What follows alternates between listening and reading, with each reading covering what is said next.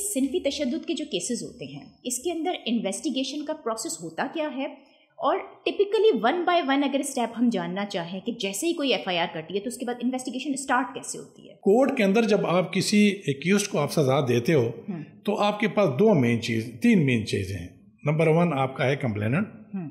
Number दो आपके हैं विटनेसेस हम्म। और नंबर तीन है आपकी एविडेंस जब तीनों में से एक चीज़ भी आपका कम हो तो आप किसी भी केस को सज़ा नहीं दे सकते और ला यही कहता है कि बेनिफिट्स ऑफ़ डाउट्स जो हैं, वो हमेशा कि उसको फ़ायदा पहुंचाता है। ये मैं नहीं कह रहा हूँ, ये कानून की किताबों में लिखा है।